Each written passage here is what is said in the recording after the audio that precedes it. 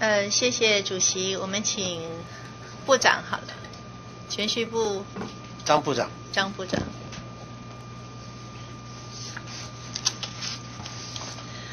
呃，部长，本席其实九月份咨询交通部，第一次要求交通部删除呃退休月退人员的年终慰问金，当时只有《工商时报》注意到这个问题。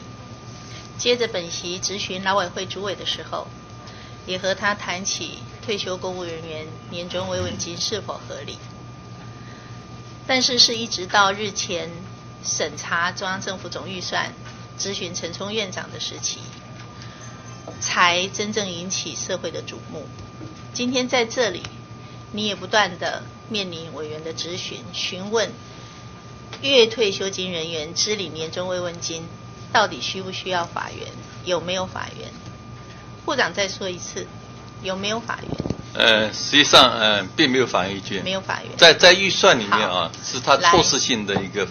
一个一个一个措施性的立法，对，措施性立法，经过立法部门通过以后，通过预算，自然会形成立法部门通过以后，自然形成法的法律就变成有法律效力，是不是？对，所以变成责任全部在立法委员，也不是责任在这，因为立法委员同意就给予他法源，是这个意思。不是，我跟委员报告，实际上我研究预算研究了二十年，实际上研究预算你要研究宪法，宪法释字二八二号，你有没有看过？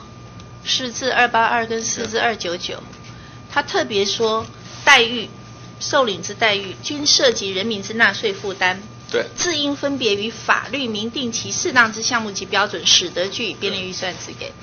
你不谈这个，你把责任全部推给立法委员。官员实际上，二九九，这是在工人基准法我已经明定的，就希望。没有还没过。而且公务员基准法你所说的那一条，如果你要把它延伸到退休人员，到时候你又会被我修理。我都很清楚了啦。二九九四至二九九，待遇或报酬，无论名称为何，均涉及人民之纳税负担，且为国家之重要事项，应视其职务之性质，分别先以法律规定适当之项目与标准，使得据以编列预算支付之。你不研究宪法，你只研究预算，所以你就把责任推给立法院，说立法委员通过的预算案就有法律效力，立法委员通过的预算案也违宪，也违宪。你还要说什么？我没意见。哦，没意见哦。我尊重委员。哑口无言。对，我尊重委员。那你都尊重委员，你都尊重行政院本席去函，要全序部说明，到底年终慰问金需不需要法源？你的回函是什么呢？你的回函都叫我去问人事总处啦。你看部长回函，有关年终慰问金之发给是否应有法律或法律授权之命令为依据，建请由行政院人事行政总处横着该项给予之性质及发给目的等说明之。你不肯说明，这就是中华民国考试院的全序部部长哦。好啦，骂你一下，让你知道很严重。不要这样，行政院找你了没？没有，还没嘛？都骗我们嘛？说要找考试院嘛？结果现在是什么？是考试院推给行政院，然后行政院还没有找考试院嘛？我说的对不对？对，还在拖啦。好，今天本来本席只处理月退休金者所支领的年终慰问金，可是今天当。我们在这里看到你们的预算书，你们的公文送进来，去提到退休的老国大代表也领三节奖金的时候，我知道今天这个问题会烧起来，所以本来本席不处理的事情，我只好拿出来处理。我之所以还不处理，是因为整个总数还没有查清楚。总数还没查清楚的时候，已经查到了一年十五亿两千九百四十一万零三百二十八元，三节慰问金，总共支领的人数是二十六万七千一百零三人，这是本席目前所查出来的数字。但是它的数字跟四十四万五千多名退休人员的数字差太多了，为什么会有这种差别？我还在续查，我怀疑这个数字还不是全部的数字。所以本席一直还没有处理这一块，我必须知道这一块到底是谁在领，我才知道如何处理。但是，我告诉各位，他。不但于法无据，而且呢，事实上三节慰问金是根据行政院六十年六月二日行政院函修正以后发给的。在这个修正里头，第一条的第二款规定，各机关于每年春节、端午及中秋三节，尽可能派员或以函电慰问退休人员。派员或以函定去慰问，并酌赠礼品或礼券。基础在这里，法源在这里，法源是一个行政院的院函，所以从尽可能是以。函电慰问，或者是直接去慰问，跟着赠礼品或礼券，一路下来衍生变为三节礼金、三节慰问金。好，法源是这样，他该不该领？如果把这个拿掉，有没有涉及弱势公务员的照顾？本席告诉大家，没有。为什么？因为弱势公务员的照顾另有制度，什么制度？就是这整个照护制度的第一条的第四款跟第五款，已经包含弱势退休公务人员的照护。第四款规定，退休人员遇有重大疾病者，一经知悉，各机关应尽可能派员慰问；及遇婚丧庆吊，并可酌赠贺礼溥仪，可以给予的照顾范围非常广大。有重大疾病就赶快去慰问，婚丧庆吊都还可以赠贺礼跟电仪。弱势的照顾在这一款，还有一款是死亡的照顾。退休人员死亡的时候，各机关应该派员酌赠溥仪，以慰问其遗族。要要慰问，如系单身无家族在台，应协助料理后事。慰问需要理由，才名副其实。对不对？慰问照护制度要名副其实，所以在第四款跟第五款其实已经给予理由，让弱势者，尤其遇到生病的退休人员都有照护制度了。为什么还给三节礼金？好，退休人员有三节礼金，现职人员有没有？没有。你们有没有领三节礼金？没有。现职人员是从有改成没有的，现职人员其实已经改掉了。来，本席今天告诉部长，我觉得三节慰问金在我们还没有查清楚现在支领的人员是哪一种类人员的时候，我们暂时不予处理的话，本席还是认为年终慰问金无论如何应该予以删除。为什么？因为它也不涉及弱势照顾。第一，领一次退的最弱势，他们不能领啊。年终慰问金是只有领月退休金的人才可以领，真正弱势退一次退，老农民都是早期一次退，他们反而没有得领啊。第二，它是所得替代率的外加，而不是内涵。换句话说，公务人员退休计算月退休金的所得替代率，民进党执政的时候，在九十五年给它改成内涵。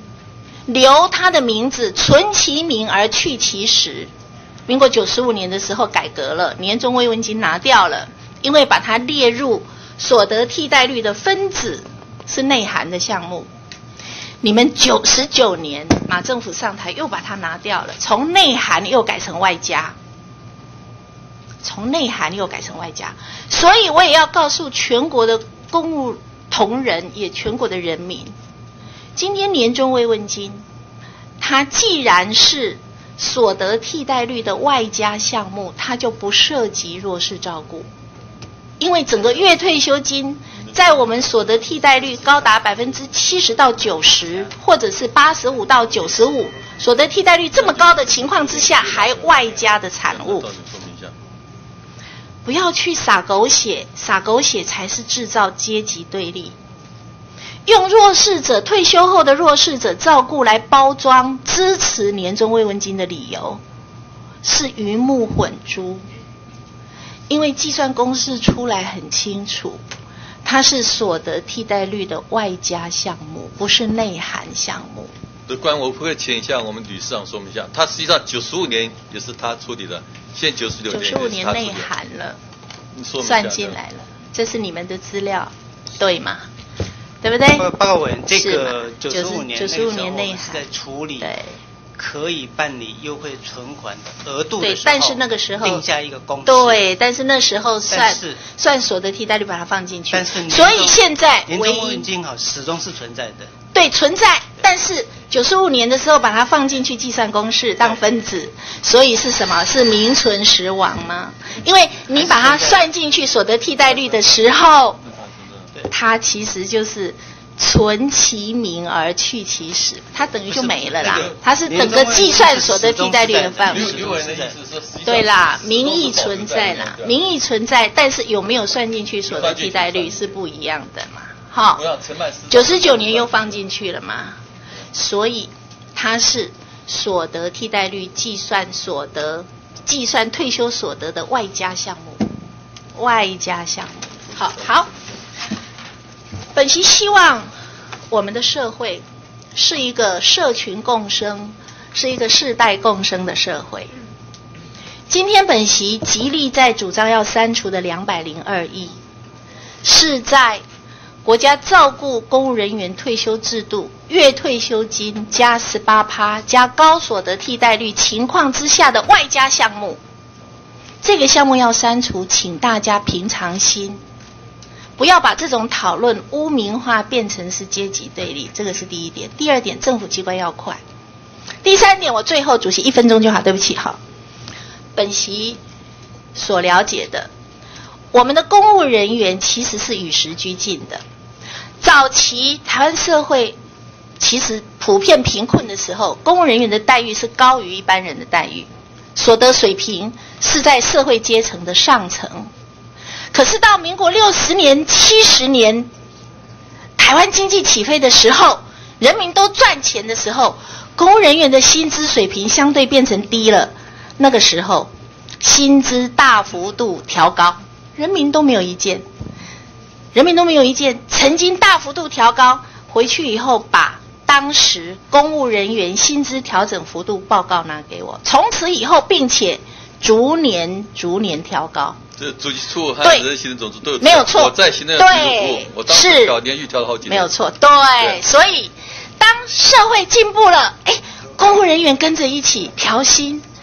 当社会走下坡的时候，我觉得光这笔钱我们把它拿掉，不是更彰显公职人员作为人民保姆、苦民所苦，跟着社会的脉动做弹性调整的一个正常合理的机制吗？所以我最后感谢感谢非常多自己支领这一笔钱的退休人员打电话在脸书给我鼓励，说其实他们是支持的。现有的讨论，因为政府的拖延，让他们没有发声的机会，都误以为他们不愿意让这一笔钱被删掉。其实很多人告诉我，他们也觉得时代演进到这里，我们就与时俱进。他们赞成支持，我在这里也公开的感谢他们给我的支持，请大家原谅我，支持我，谢谢。